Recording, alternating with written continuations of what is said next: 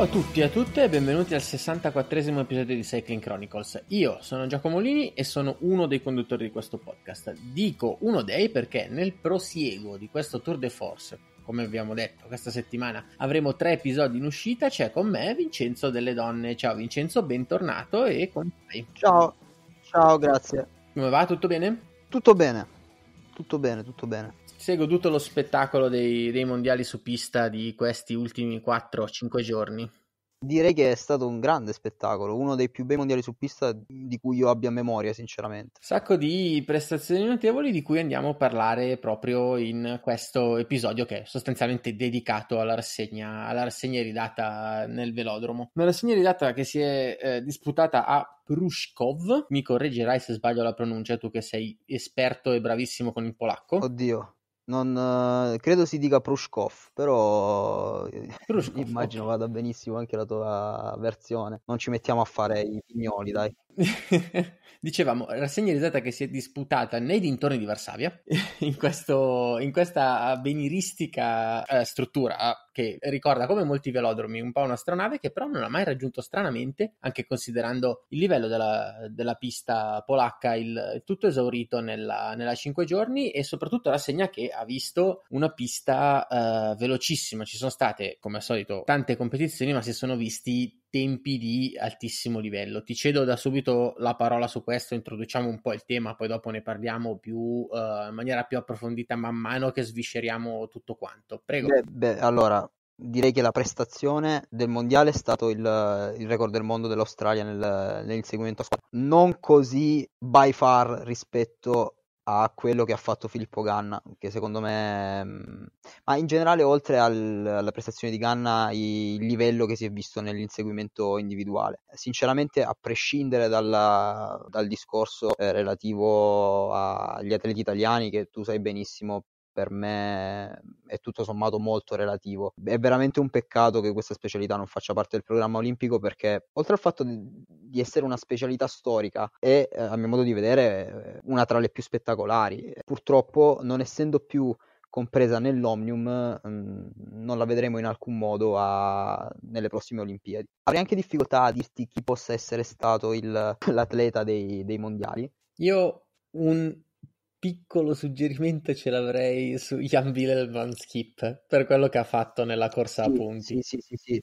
Van Skip ha fatto una corsa a punti incredibile, ha scollinato la soglia dei 100 punti che in un mondiale è qualcosa di clamoroso. Però sì, forse Van Skip se la gioca proprio con Filippo Ganna ed è un peccato che effettivamente l'Italia non, sia potuta, non abbia potuto esprimere le sue potenzialità nella gara a squadre per un inconveniente in fase di qualificazione. Un attimo di cronaca per contestualizzare quello che, quello che hai appena detto. Allora, parliamo di diversi. Abbiamo parlato di diversi tipi di gare. C'è stato infatti in primo luogo l'inseguimento a, a, squadre, quello del quartetto, questa sì che è disciplina olimpica, e eh, l'Italia che era una pretendente credibile, credibilissima al podio. Col senno di poi, viste le prove individuali, addirittura probabilmente pretendente alla finale, forse anche insieme a, a Australia e Gran Bretagna. Comunque era queste le tre nazioni faro della, della, disciplina insieme alla Danimarca, insomma non si è riuscita a qualificare perché c'è stata una caduta dopo una trentina di secondi di gara di Lamon, degli uomini del quartetto, che in buona sostanza ha compromesso uh, la prova dei quattro ragazzi, giusto? Sì, non abbiamo immagini in realtà del, del, fatto. Tra l'altro io ero rimasto abbastanza sorpreso dal 359 perché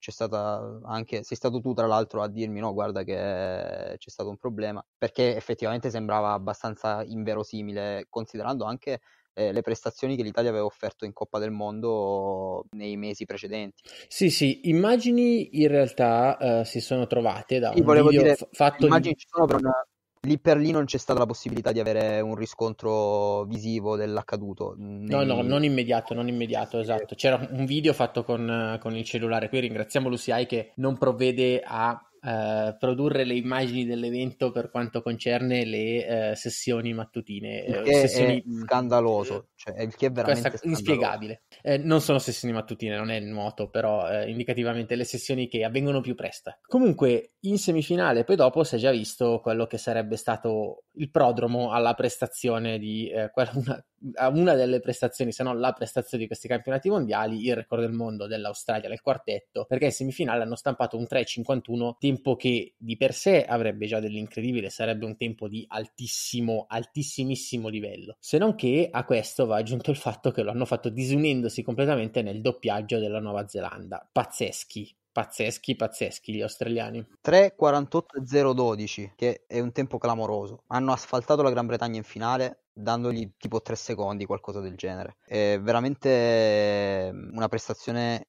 clamorosa e mi pare anche doveroso eh, ricordare chi sono i quattro che hanno vinto la medaglia d'oro. Che prego, prego.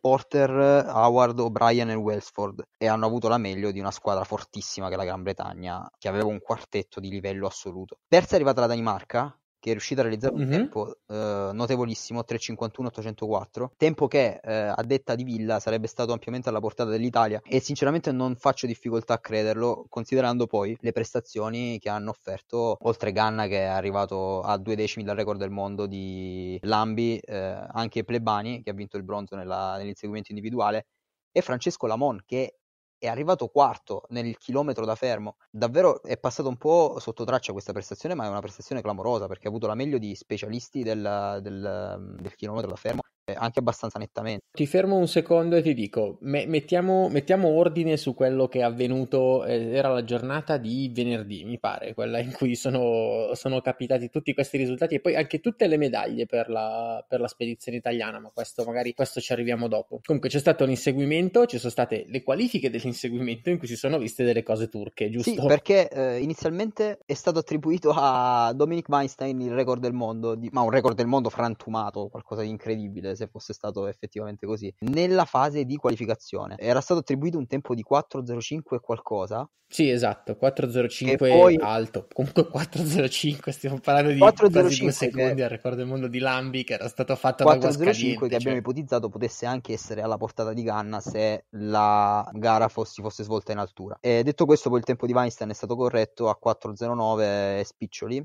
e dietro di lui Plebani ha fatto un 4.11 e 700, ora non ricordo. Comunque era un uh, tempo che batteva di uh, due secondi il record italiano di Ganna. E dietro di lui uh, Evtushenko. Esatto, così in qualificazione dal nulla. Lui Evtushenko e le, Lambi sono comunque scesi sotto i 4,13. Ma poi c'è stato, ci sono stati anche, se non sbaglio, Archibald e Oliveira che sono andati sotto i 4,15. Cioè stiamo parlando di tempi che sarebbero valsi il podio praticamente sempre. Tra l'altro la finale Ganna contro Weinstein è stata la riedizione della eh, finale che ha visto Ganna conquistare il primo titolo mondiale nel 2016. Comunque Ganna è sceso in pista con eh, il primatista del mondo Ashton Lambie e ha demolito la concorrenza dell'americano e ha messo in piedi un tempo che a livello del mare è il record del mondo ed è un tempo veramente pazzesco. Il tempo è veramente pazzesco. Ganna che tra l'altro io sinceramente vedrei bene eh, con Viviani nella, nella Madison forse meglio di Consonni. Però immagino che le dinamiche e comunque le, le, gerarchie siano state stabilite ed è anche giusto così. Consonni che tra l'altro ha sfiorato il podio nell'Omnium, Consonni che si sta ben comporta- comportando su pista, che probabilmente nell'Omnium lascerà spazio a Viviani in vista delle Olimpiadi. Per quanto riguarda il settore femminile, ha un po' deluso in questo caso il quartetto femminile che mh, mm, si è collocato in quinta posizione, abbastanza distante dal podio. Però eh, Letizia Paternoster, secondo me, io dico ha fatto quasi un miracolo a vincere la medaglia d'argento nel, nell'Omnium. Ho in mente la gara di eliminazione in cui è riuscita in qualche modo ad arrivare terza, ma secondo me davvero attingendo a non so quale tipo tipo di energia. era proprio stanca alla fine, è stata bravissima a difendere la seconda posizione, tra l'altro andando vicinissima a Kirsten Wild. Kirsten Wild che sembrava inattaccabile fino all'anno scorso e che ora invece sembra poter essere alla portata Kirsten Wild che è una leggenda ormai di, di, questa, di, questo sport. Kirsten Wild che comunque ha i suoi bei 37 anni. Sì se un anno fa Kirsten Wild era una aliena del, del, del, del settore endurance su pista quest'anno si è limitata a sembrare colei che era nettamente più forte di tutte le altre. Forse questo è il modo più corretto di porre, di porre la questione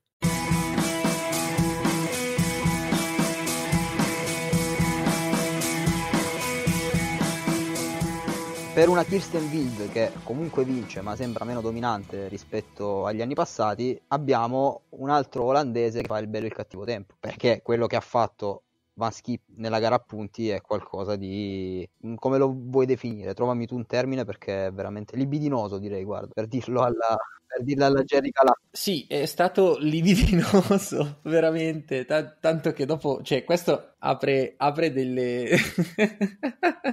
apre degli scenari interessanti anche sull'Omnium, sulla corsa punti dell'Omnium maschile.